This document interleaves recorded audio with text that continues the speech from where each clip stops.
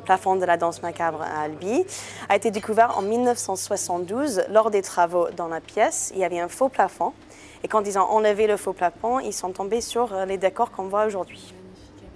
Il y a plusieurs euh, particularités. D'abord, toutes les surfaces du plafond sont peintes. C'est très rare d'avoir même le plancher qui est décoré. Souvent, on va décorer les closoirs, les couvre-joints, parfois les poutres. Mais avoir un plafond entièrement peint, c'est très rare. Donc, première chose. Deuxième chose, c'est la seule danse macabre peinte sur un plafond dans la région, qui date du Moyen Âge, bien sûr. Donc on a des cadavres, des squelettes presque, qui entraînent les différents personnages vers la mort. La première danse macabre a été peinte dans le cimetière des Innocents à Paris dans les années 1420. Et puis, ça a été de plus en plus populaire, surtout avec euh, l'imprimerie.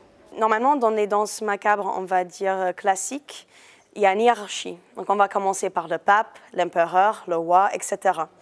On n'a pas de puissant, on va dire, sur, euh, sur ce plafond. Le personnage qui dirige la danse est un chanoine. Donc, c'est un petit clin d'œil au fait qu'on est chez les chanoines, là où il y a le plafond. Euh, mais on, retrouve en fait des gens que les albigeois de l'époque auraient vus presque tous les jours.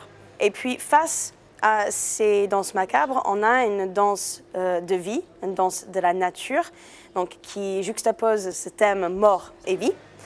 En plus, au-dessus de la danse macabre sur les deux poutres, on a une frise de petits lapins qui courent et qui indique la direction qu'avance la danse et qui juxtapose encore une fois la fécondité, la vie euh, représenté par des lapins et le thème de la mort. Un motif euh, un peu unique euh, ici à Albi, qu'on retrouve sur d'autres plafonds à Albi, c'est le cœur. Donc le cœur va intervenir dans des inscriptions, bon cœur fait tout bien.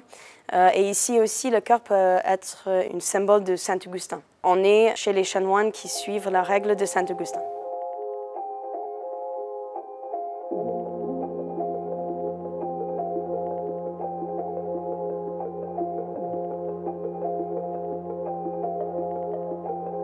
Alors c'est un des plafonds qui a euh, le plus de textes euh, parmi ceux que l'on connaît, euh, et des textes sous différentes formes, puisqu'il y a un dialogue entre nature et mort, et il y a aussi des, petites inscriptions sur des, sur des phylactères qui sont comme des, rouleaux de, parchemin déroulés, et avec des effets de mise en page, par exemple la majuscule rouge.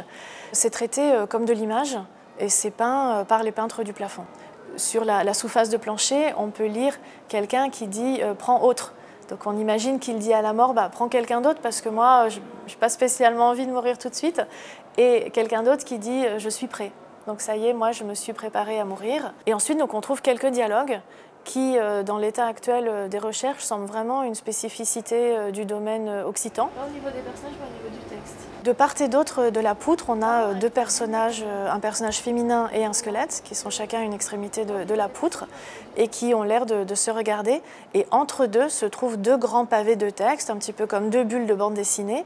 Et par ces deux textes, elles s'affrontent. Il y a une course entre les, deux personnages pour, pour réussir son œuvre chacune de son côté. C'est au cœur du plafond parce que c'est sur la poutre centrale. Et de part et d'autre de cette poutre centrale s'organisent les deux euh, danses macabres. On peut penser que c'est une clé euh, de lecture euh, du plafond.